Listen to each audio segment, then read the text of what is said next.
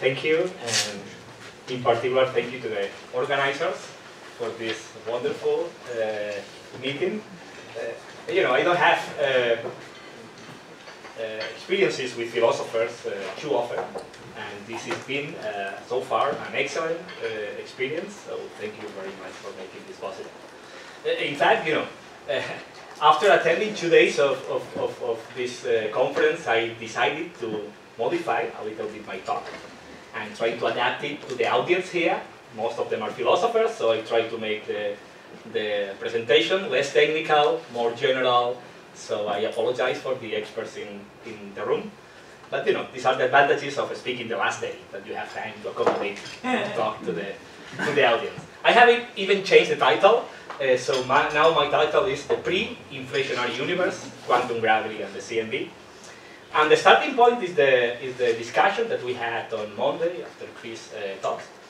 Uh, uh over there, uh, we agreed that inflation, you know, is a very nice paradigm to account for the origin of the cosmic structures in what I think is a quite economical way and also elegant because you know, the origin is found in quantum fluctuations, in the quantum notion of nothingness. Uh, so it's a very compelling intellectually. But we also agree that there are many questions that are still open and we want to address them. So let me just summarize uh, or remember, recall uh, so, some of them. You know, what is the matter field or whatever driving inflation, uh, if it is a scalar field, what is the potential that is causing the slow roll uh, inflationary expansion?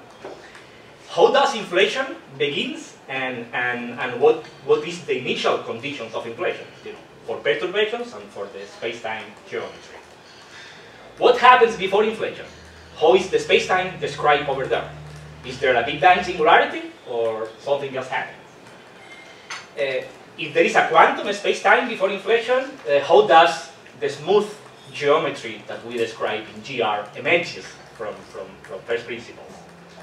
The same for matter fields. How matter fields, for instance, uh, perturbations, scalar and tensor fields propagate on a quantum space-time, and how the familiar picture of quantum field theory in a curved background emerges from quantum gravity. And also a very important question, does this evolution, you know, the pre-inflationary evolution, can leave any imprint in the CMB, or rather the universe forgets about whatever happens before inflation. So the goal of my talk is twofold. On the one hand, I want to consider a concrete proposal for the pre-inflationary universe and try to see what that proposal can answer and what it cannot.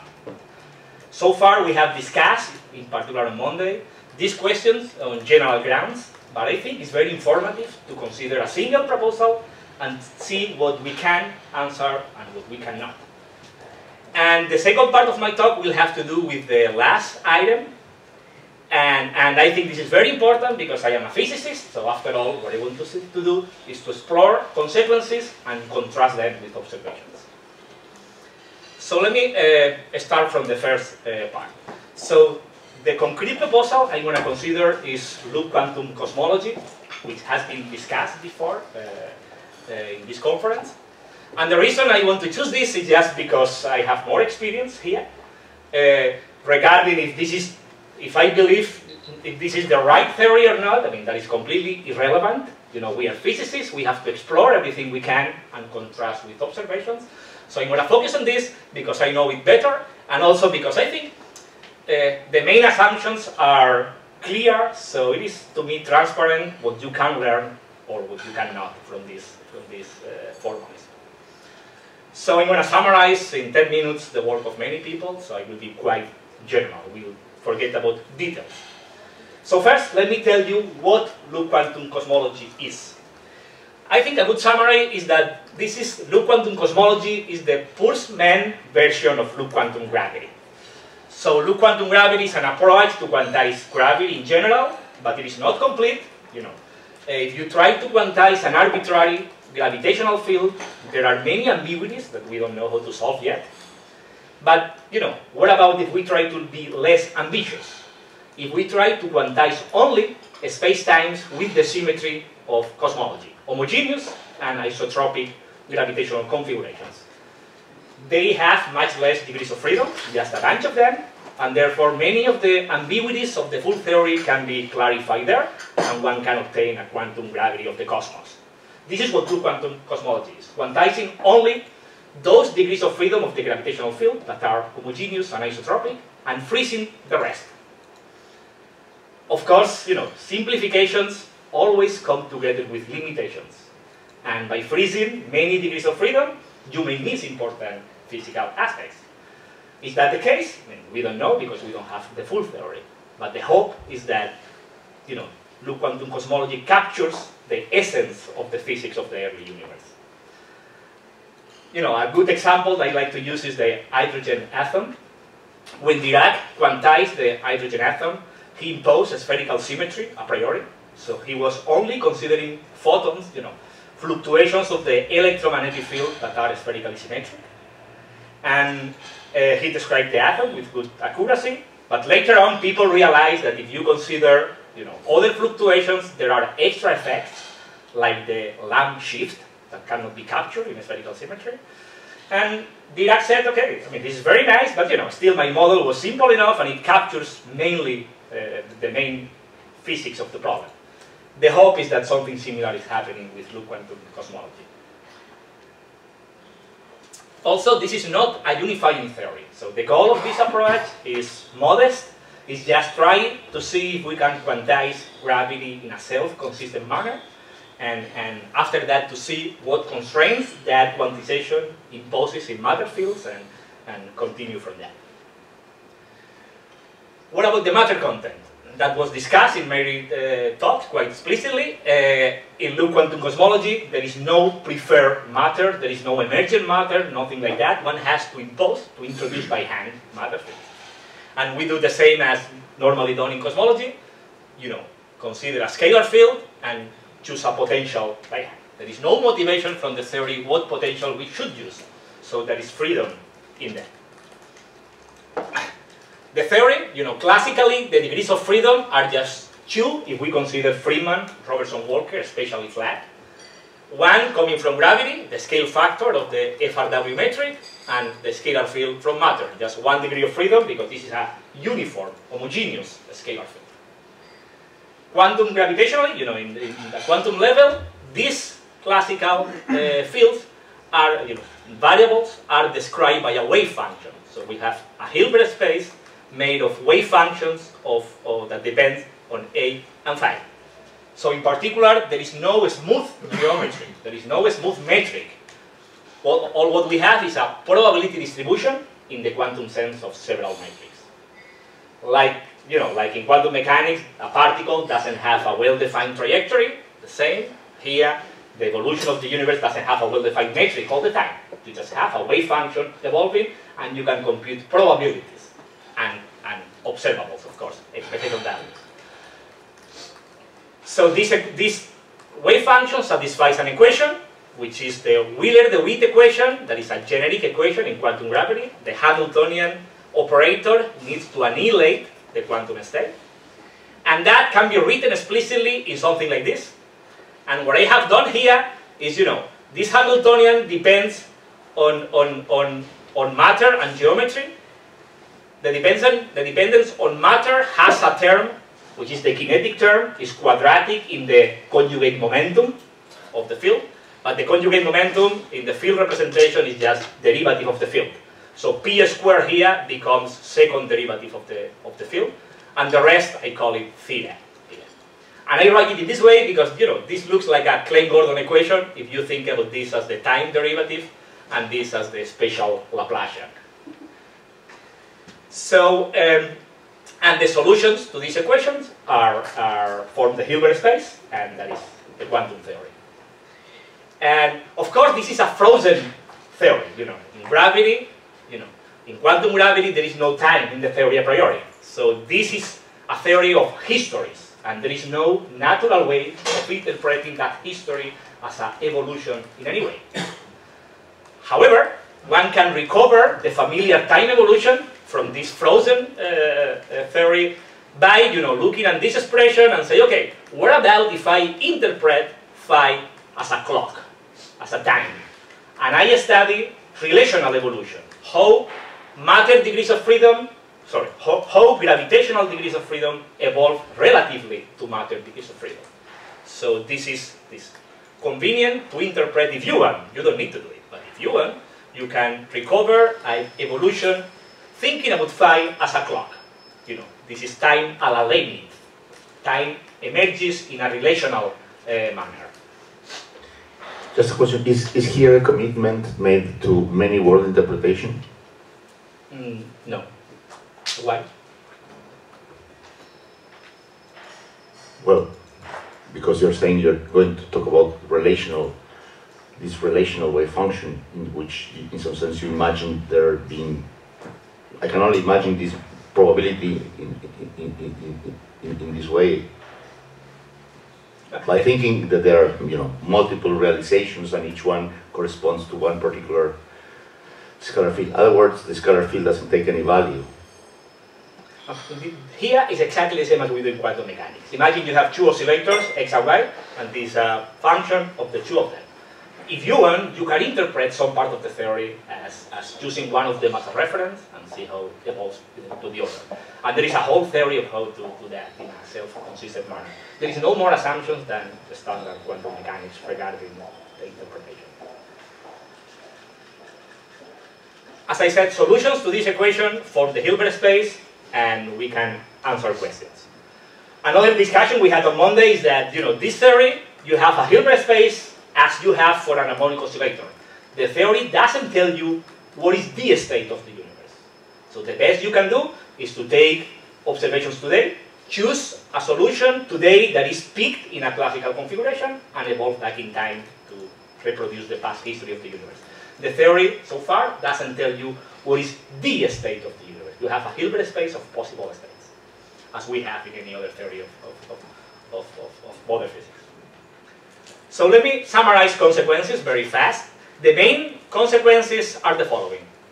This is a sort of theorem, and is that every single physical observable, you know, energy density, uh, pressure of the matter field, uh, curvature invariance, they all are bounded above in the entire Hilbert space. No observable blows up in the entire Hilbert space.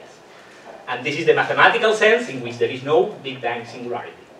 For instance, energy density is bounded above, above by a, supreme, a sub value, which is a fraction of the Planck uh, scale. And curvature is also bounded above by a fraction of the Planck scale. Nothing, you know, they, there is no single state in which they blow. Blow up. Additionally, regarding evolution, all states in this framework go through an instant, if you want, instant in, in five uh, picture, of minimum volume and maximum curvature. So in this framework, one finds that every single state that we take today and evolve back in time suffers a bounce when the energy density is maximum and the curvature is maximum. So here, if we go back in time, time goes vertically, future and past. If we are here, we go back in time. In GR, space-time ends at the Big Bang singularity. Here, rather, one finds that the universe bounces, and therefore there is a contracting branch of the universe and an expanding branch of the universe, both described by GR and joined together by a quantum phase in which the geometry itself is quantum mechanical. To get more intuition about the geometry, because you know it is quantum and it is difficult to imagine, one can follow the peak of the wave function. Just take the expectation value of the scale factor and see and recover effective equations to describe that, you know, semi-classical equations. And this is what you find you find the Friedmann equation, which is very similar to the GR, except for this new term, the Raychaudhuri equation, which is similar to GR except for these two terms, and the same equation for the scalar field. Dot here means derivative with respect to a parameter I call t. Is a mathematical parameter at this level. Remember initially what I had was the scale factor and the scalar field evolving relative to each other.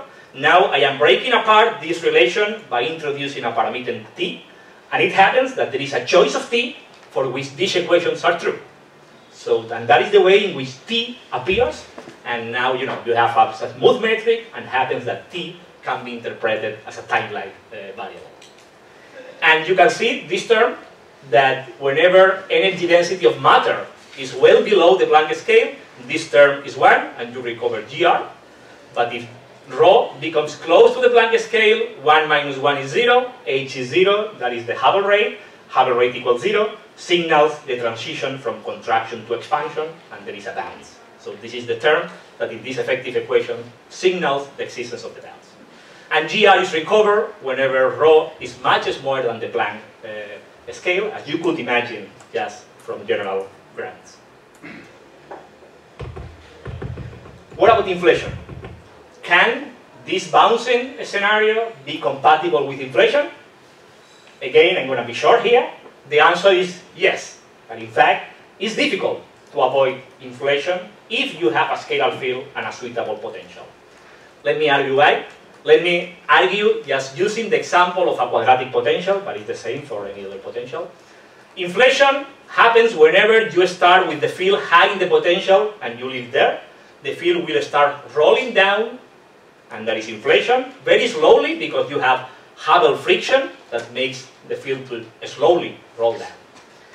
But you know, what about if in the past, before the bounce, the scalar field is not high in the potential? If the scalar field is in the bottom of the potential, how inflation is going to start?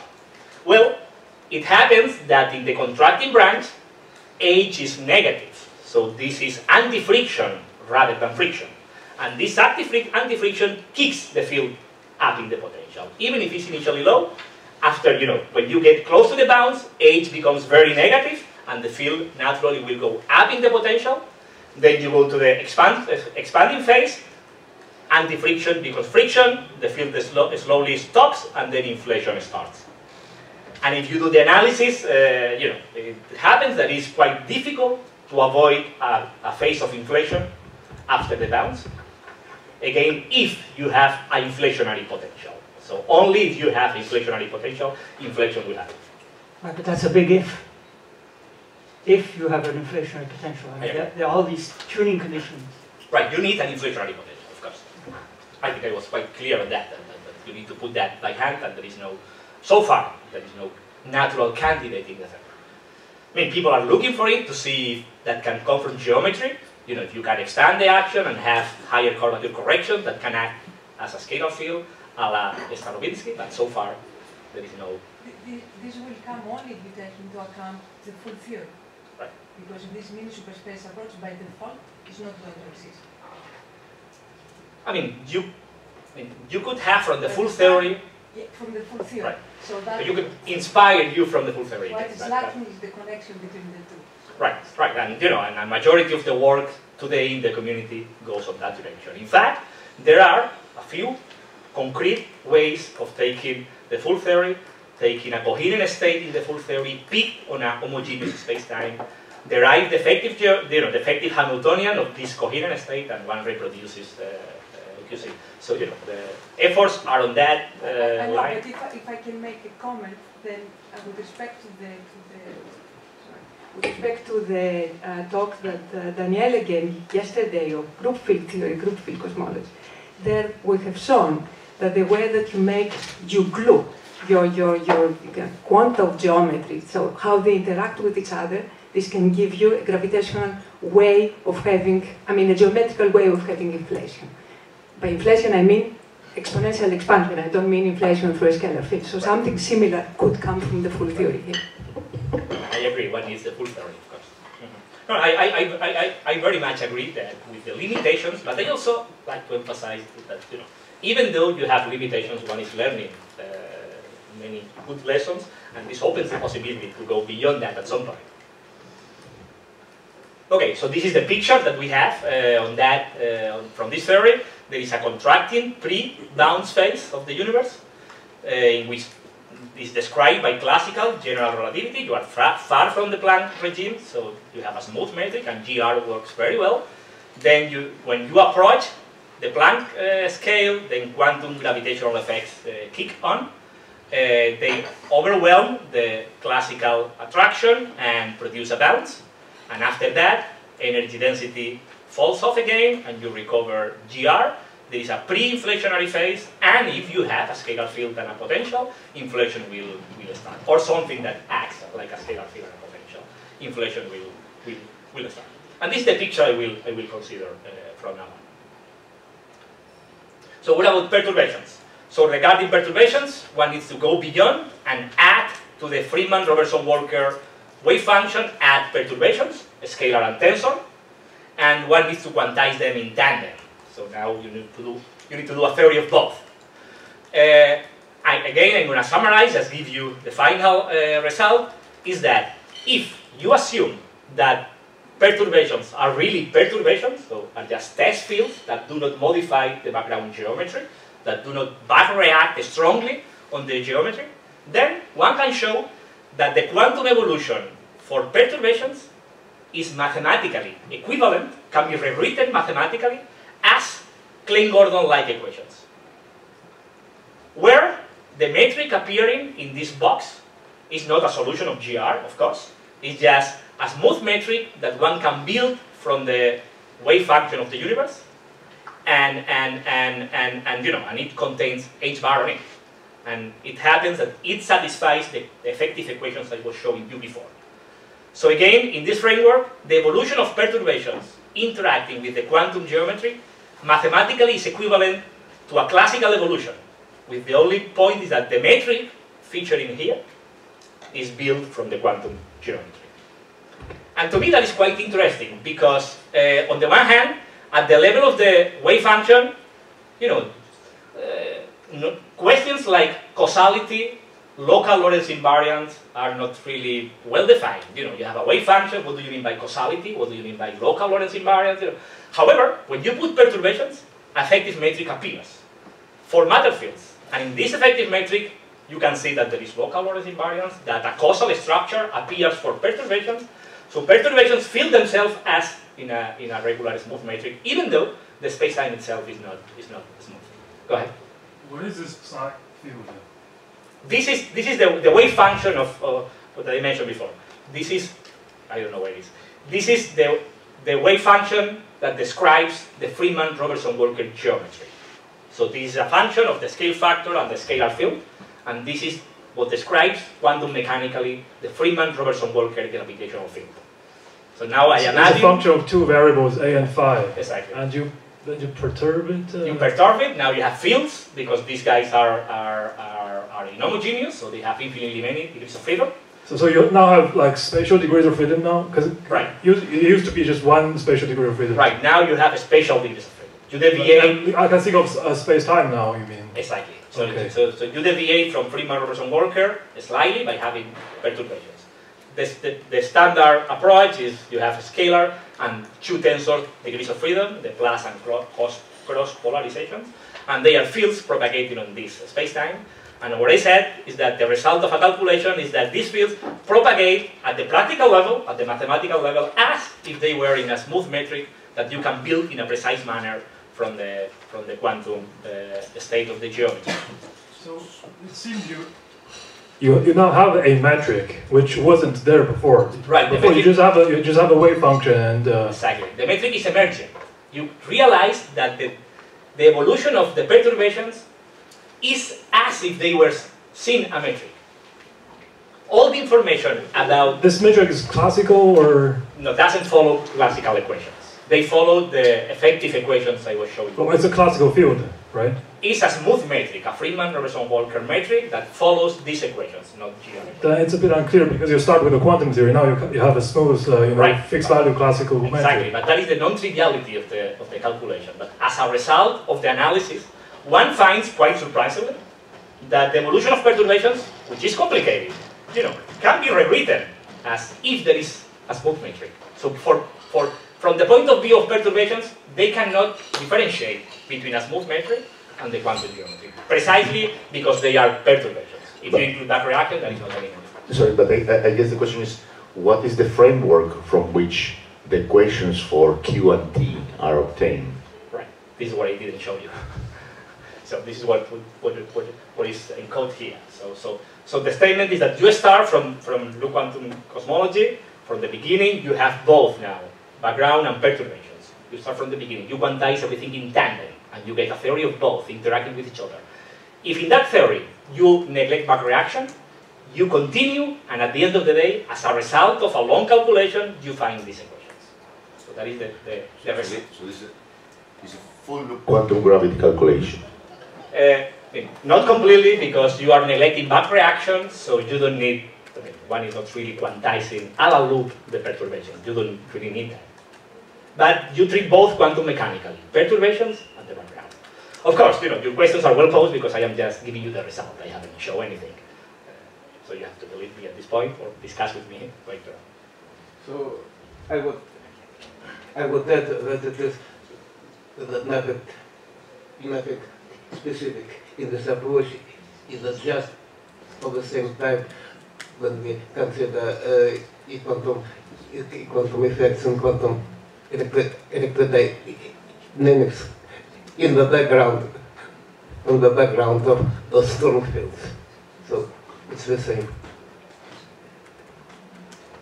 In method, it's the same. So once more, I want to emphasize that in this point that there is nothing specific, especially specifically to loop quantum gravity. Loop quantum gravity only shows itself in the uh, new e equations for the background, but uh, generic method is the same. Thank you. Nevertheless, to me it was surprising that starting from the full quant calculation, at the end you can reach equations using back, neglecting back reaction that look like a field theory, that you initially didn't have a field theory. And an effective metric appears. So it seems there's a conceptual shift because you start with the quantum theory, your predictions are probabilities. And now somehow you do some calculations and then probabilities disappear. You have a, like a classical metric. Like how is the shift made? But I mean, you still have probabilities because you know the fields are, are quantum. But they propagate as if they were in a classical, uh, well-determined matrix. So, so, now you're fixing on a, a fixed classical right, again, space again, again where, does it arise? It is, it is the result of the fact that, that, that perturbations cannot test every single aspect of the geometry because they are perturbations. So they only see a few moments of the quantum geometry, and these moments happen to be, uh, can be encoded mathematically in a smooth metric. We can discuss more in the discussion session. So then we can come back to the list of questions. You know, what is the scalar field and the potential? This theory doesn't give you an answer about that. How does inflation begins and what are the initial conditions? Inflation begins, as I, as I said, after the downs. The evolution brings the inflaton field high in the potential, if there is a potential, and inflation begins. And then you can propagate perturbations across the bounce and compute what is the initial state of perturbations at the beginning of inflation. What happens before inflation? I described that. Uh, how space-time is described. Uh, is there a Big Bang? The answer is no. Uh, is there a quantum space-time? The answer is yes. How does a smooth classical geometry emerges? It emerges globally at late times, whenever the quantum effects uh, fall off. And for perturbations, uh, also because this effective metric that perturbations feel go to a FRW uh, solution at late times. And perturbations propagate in a pre-inflationary universe, as I described. And the last question, does this evolution leave any imprint in the CMB? That is the starting point of the second part of, of, of the talk. So again, my goal was to, you know, because all these questions were discussed uh, in the first day, was give you a summary, short summary of the results that a concrete approach uh, uh, provides. Okay, so regarding if we can leave any imprint in the CMB, so uh, here I'm going to explore a possibility or an idea that is going to answer this question in the affirmative. And the idea is that there are some features that we see in the CMB called large scale anomalies, I will describe in a second, and that this is our remnants of the pre-inflationary universe, of whatever happens before inflation. That is the proposal, and let's try to see if I can make sense of that. So, sorry, can, can you state again what's the state of your of your quantum fields characterizing the perturbations? The, the, yes. So what you do, you rather than you have these equations for perturbations, which at the end of the day they are they are like a fog field living on a given uh, Yeah. geometry. Mhm. So now, rather than starting the evolution at the onset of inflation, assuming the adiabatic vacuum there, I go to the past. And I put initial conditions, you know, adiabatic vacuum in the past. Where in the past? There are two natural places, either the bounce, But it, but it's a vacuum. It's an adiabatic vacuum. It's an adiabatic vacuum, either at the bounce or you go to the far past. Uh, I like more the second option, going to the far past and choosing a vacuum state there, where modes are really adiabatic, really inside the, the, the curvature scale. And then you evolve them across the bounce and, and, and up to the onset of inflation. But if you start with the vacuum, the adiabatic vacuum, then you're facing the same problem we were discussing yesterday, right? Right. The point is that in inflation, when you do that, you don't really know what happens before inflation. Your picture is not complete. So you say, okay, I start the evolution here, I don't know what happens, I'm going to assume that nothing happens of importance before inflation. Here you have a complete picture. So you can go to the past, to the infinite past if you want, put initial conditions there and see, and see what happens. Right, but the issue of homogeneity of the, of the Yes, original state of is course. still there, right? I mean, here, obviously, yes, because I am in loop quantum cosmology, which is a mini superspace quantization. So I am assuming exact homogeneity from the beginning. And there is a limitation, of course. One has to go beyond that. But, but this is step by step process. So absolutely. I... Okay. Robert has a question. Okay, so let me tell you what this large 10 means. Okay. So I have to speak up. I can use some time to question. So, what are these? Let me just summarize quickly what, what they are. So they are essentially features that we see in the CMB and they are in tension with the lambda CDM model.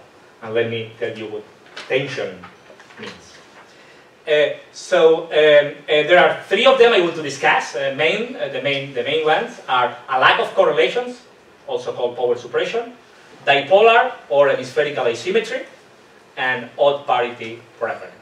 And they only appear in correlation functions at large angles in the CMB. When you consider points which are highly separated in the CMB, and for that reason they are called large-scale anomalies. So first, let me tell you why they are called anomalies. Anomalies is kind of mild word. Why they are not called inconsistencies or something stronger. And the reason is that, uh, you know, because they are not incompa really incompatible with the lambda CDM model. They are just unusual in the statistical sense. Remember that what the lambda CDM model can do for us is predict a probability distribution. That's it. And we see one CMB, and we need to extract from the CMB information about the probability distribution. So in, a good analogy is imagine that you have an harmonic oscillator in the ground state, and you measure quantum harmonic oscillator, and you measure the oscillator once, and you find it three sigmas away from the mean. Would you say that your theory is incorrect?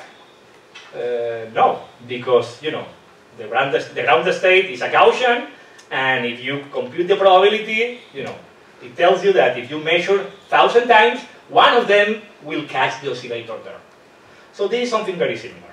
So we catch the CMB with some effects, which are not incompatible, but are three sigmas away from what we expect from the theory. Now is our, our you know, uh, we can decide if we call that, you know, and, an, a call for new physics or not, or it's just a statistical excursion of the, of the degrees of freedom.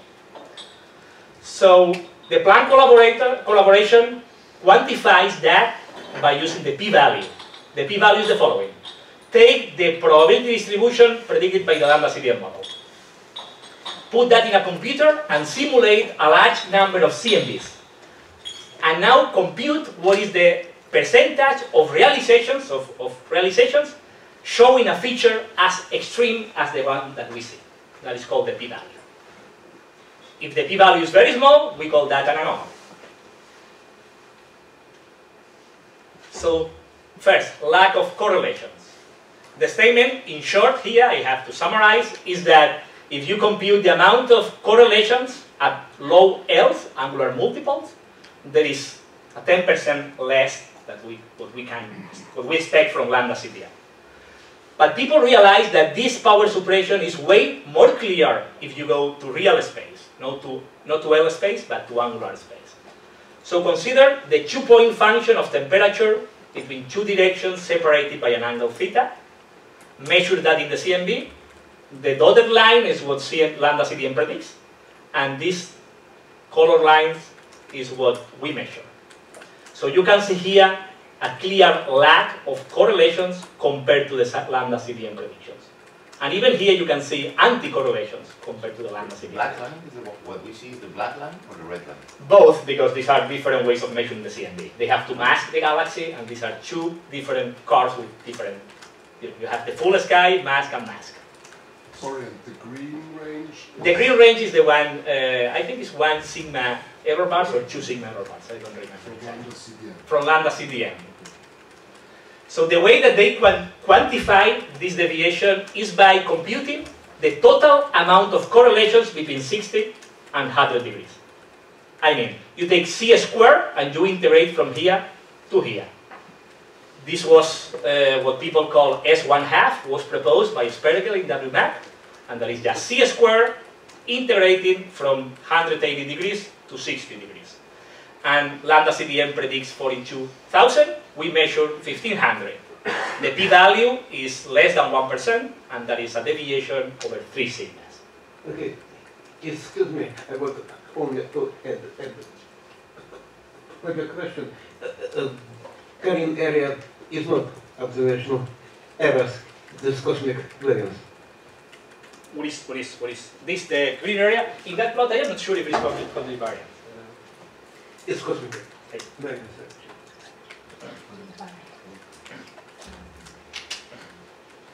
dipolar or spherical asymmetry. So the fact is that observations find a dipole superposed to the, to the CMB, to the homogeneous, to the isotropic CMB, a dipole on the top of that. That has been seen in all WMAP map, in, in WMAP and also in Planck maps. And the way they quantify that is the following. Consider the most generic angular two-point function in the CMB. If the universe is isotropic, that is diagonal. So you only have this term, delta L1, L2, delta N1, N2. Any other non-diagonal terms in these levels are anisotropies. You can expand them using Clebsch-Gordan coefficients, and what you get in front of it, the number is called bipolar spherical harmonic coefficients, and they encode information about anisotropies and they are labeled by some number, capital L and capital M, so we speak about dipolar, anisotropy, quadrupolar, octopolar, etc., etc. And they, again, they produce correlations between L1 and L2. And the statement is that they measure a non-zero value of the dipole, L equal 1, of this dipolar modulation. That is different from the dipole here, L equal 1. That is different. This is a, modulation that entangles L, L1 and L2. They have measured a non-zero value for L1, but only for small l's. So the results are here. Planck satellite, only for L is more than 2, uh, than 64. They find this parameter, they call it here A, of the order of 0.07, and they claim a p-value is more than percent, and they say that if such signal had been predicted, this is uh, an you know, this is a detection at 3 sigma level. And just the last, so one, one thing more, they don't see any quadrupole, they don't see any octupole, they only see a dipole at large scale. This is what they see.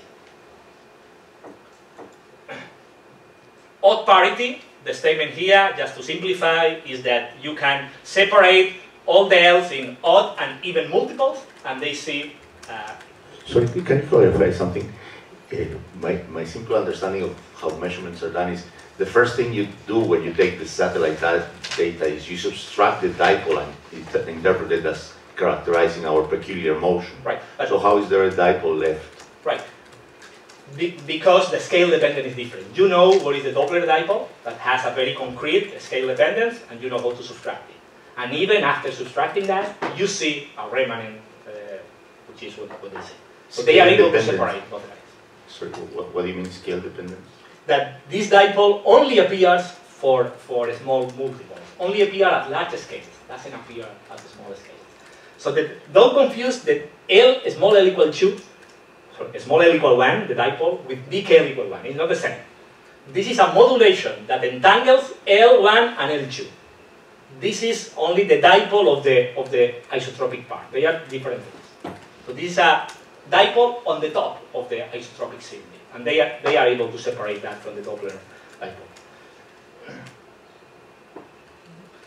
So they see more power in odd than in even multipoles, and that is a signal of, of parity breaking, and is of the same order, a bit less than three signals. How much time we have? One minute. One minute. okay.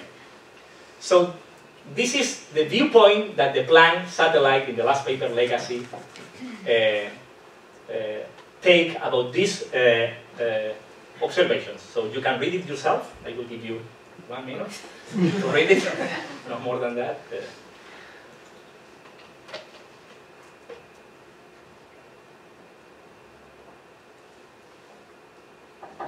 And then I will use one more minute to summarize um, the last part of the talk that I don't have time to cover.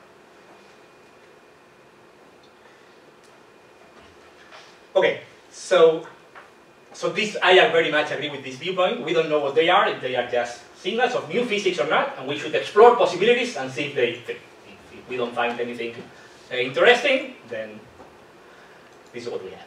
Okay, so the statement I want to make is that, um, and, and you know, and they are, people have tried a lot, and they are very difficult to account for, these anomalies, because they are scale dependent. They only appear at large angles uh, in correlations, and it is not easy at all to, to, to produce them without violating something else. And, and, and the statement here I want to make is that I believe a bounce happening before inflation gives you a mechanism to generate the three of them simultaneously and scale dependent in a concrete manner that I will explain or not, depending on the kindness of the chair. so the statement, the mechanism that I think um, uh, I want to use is what people call non-Gaussian modulation.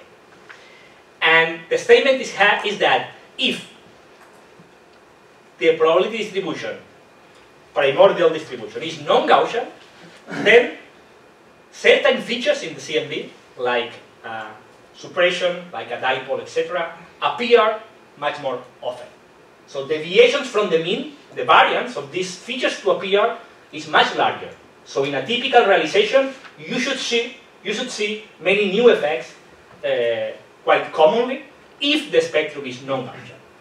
So again, these non-Gaussianity are not modifying the mean value if you measure many CMBs, but are telling you that you should expect uh, uh, deviations from the mean much more frequently than if the primordial spectrum is Gaussian. Of course, now you need to explain me where these non-Gaussianities are coming from, because we don't see them in the CMB.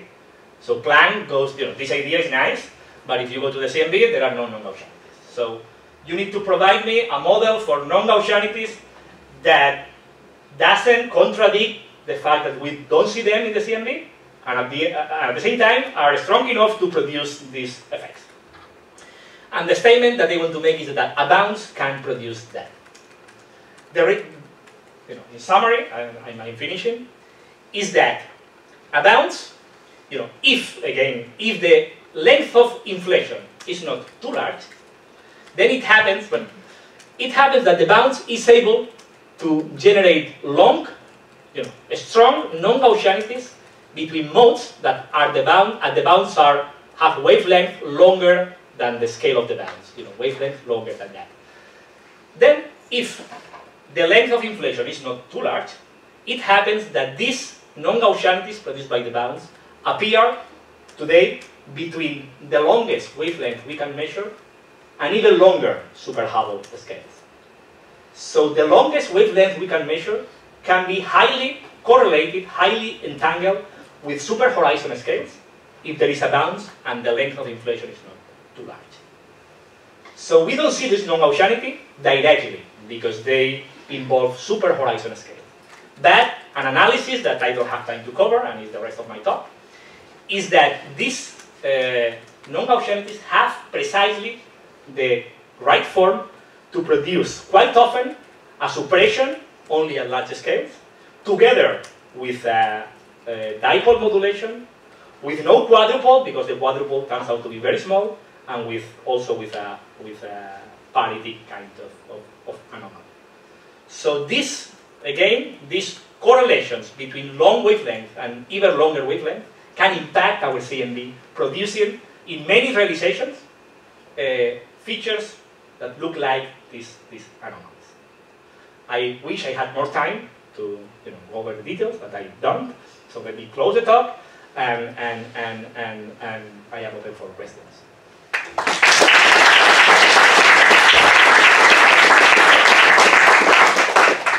Okay, you. Yeah, so I just have a comment. So uh, these features that you just discussed at the end, that a bounce produces uh, low, can produce a low L suppression, that was first worked out by a group in China, uh, Yifu Cai, quite a bit, i completely independent of uh, loop Right, right. But, but as far as I know, they don't, I mean, it's a different mechanism. It's not this non-Gaussian modulation. Right, but I, but I would say it uh, just it is uh, several years earlier. Sure, sure, sure. I, I am not, I am not the first one trying to explain the, the, the suppression. But I will insist that I am, what I am looking for is a simultaneous explanation of suppression, dipolar, and this, uh, using non-Gaussian modulation.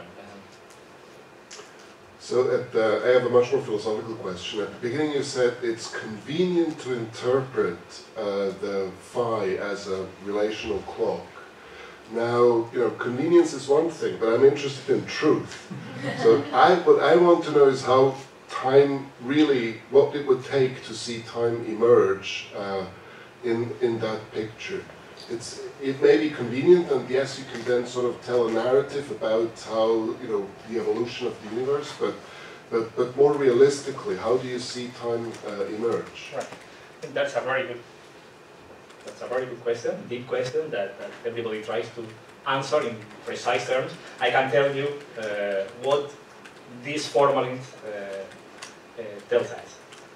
And you know, we have two levels. Uh, one is at the level of the of the wave function of the Friedmann, the homogeneous degrees of freedom, just Friedmann, Robertson Walker with, with homogeneous matter.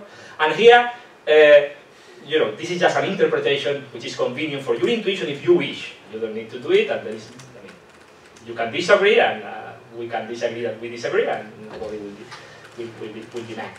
Uh, so here, and, and, you know, is you know, speaking about causality just with these degrees of freedom is difficult. So I don't see any objective manner of, of, of speaking about time here.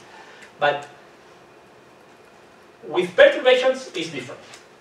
So if you introduce perturbations at the quantum level and then neglect back reaction, it happens that the propagation of perturbations in the full, you know, in, in, in loop quantum cosmology happens to be described by equations in which an effective metric appears with effective light cones.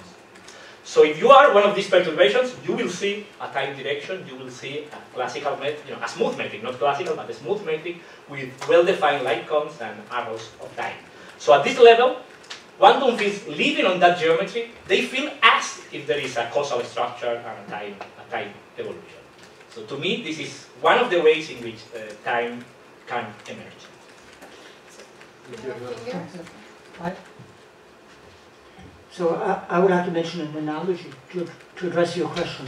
So today we measure time in terms of the temperature of the microwave background. So we have a matter clock which is evolving in the universe.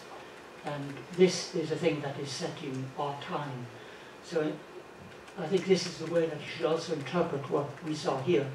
Here it's the phi, which, which is the matter clock, which is giving the time. So just to clarify, so the metric that is appearing there, therefore, has a, a phi acting as time. This, this GAB has your scalar field acting. No, no, here no. Here No. I have done the exercise. I I- I have done an intermediate step, which is uh, what I was describing here. So you initially have the scalar field as a function of phi, and you can interpret phi as a time, as a clock. But now, you know, what about if I want to write equations like this, in which phi itself evolves? Uh, so I'm gonna now go beyond this interpretation. So I'm going, I'm going to introduce a parameter t that, that I'm gonna call time, and of course it's related to the scalar field. They grow monotonically, so it's a, a, a good time, as good as the scalar field itself. But so I introduce this time t, which is a monotonic function of phi, and the, the statement is that there is a choice of that function t for which these equations become true. And you recover the standard equation that we have in GR, where you have a t and you have a scalar field evolving with that t. Okay. So you have you, you can choose, you know, what picture you like more. At the fundamental level, I think about the scalar field phi. To me, that is the most physical way of measuring time, using matter, as, as Robert just explained. But if you ask me, okay, can you reproduce equations like the GR in which we have a time t parameter? I would say, okay, yes, this is a mathematical exercise. Let me introduce this function t. And there is a choice for which these equations become true, and this is what in GR we call time. Okay, but, but when you, but when you reach, Daniel, there's a, there's a queue. No, no. You have a question? Yes, I have. I, it. uh, uh, move that. And go. So it was a finger, sorry. Okay, okay. Is it, are you following up on this, or is it a new question? No, no. Okay, so. so It's a new question, there is, there is, there is a whole bunch of people. Yeah. want no, well, I raised my hand long time. Well, me too, and he too.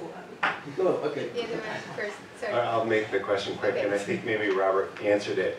The question is, the solution to the large-scale anomalies that you get presumably out of this bounce, how dependent on, on a loop quantum gravity analysis is this? Or can we get a solution in other sort of bounce scenarios like in string theory? And I think your answer was yes. So Right. I just want to clarify. Mhm. Right. Let me di- differentiate two things. One, I mean, there are many proposals to account for this, uh, for one or several of these uh, anomalies. I don't know any proposal uh, uh, addressing more than one simultaneously. And a bounce, you know, having some features can, you know, with some mechanism address one of them, uh, you know, the suppression as Robert was pointing out. So here, what I say is, is, is, is, is different. It's a different mechanism, and I didn't have time to say that the mechanism has nothing to do with loop quantum cosmology. In fact, the analysis I was going to show you is for a generic bounce, and doesn't matter if the bounce is coming from loop quantum cosmology, from modified gravity, or for something else. You know, any bounce through this non-Gaussian modulation can account for several of these anomalies simultaneously. There is another mechanism that, that one can find from a bounce, generic bounce, uh, to account for this. And I insist, you know, my goal was to try to, to produce more than one simultaneously. That has nothing to do with loop quantum cosmology, really. All what we need is a, bounce. Yeah, uh, so as I said yesterday, and this I would like to, to, to point that out again, uh, the CMB data have been analyzed uh, within the framework of Lambda CDM. So these anomalies to me show that somewhere the Lambda CDM model is inconsistent with the data. So I find it a bit dangerous to just jump uh, in another model, which is a modified gravity model. Within this framework, the CMB data have not been analyzed and then to try to extract results from this model for something that has been found within Lambda CDM. So to me, it just shows a crack of the consistency of the model. So uh, I don't want, you know, to somehow uh, uh, say something negative for all this work. It's a positive thing what you're doing, but we have to keep in mind that probably something may be a bit uh, inconsistent there. Thank you. I, I fully agree with that. And in fact, the approach that one has to follow is not to take the value of these parameters that are extracted with the lambda CDM theory and then explain them with an. I, I don't think that is the right way of doing it. So we There- agree. So we agree. So, but the way I try to do it is go into the data, having a new uh, template for, for the theory, and trying to extract from the data, the glass was going to bounce, from the data uh, the constraints, and to see if this new model uh, fits better the data than the lambda CDM model. I fully agree with you. One has to put away the theory that doesn't work and, and contrast data with a new model. Thank you.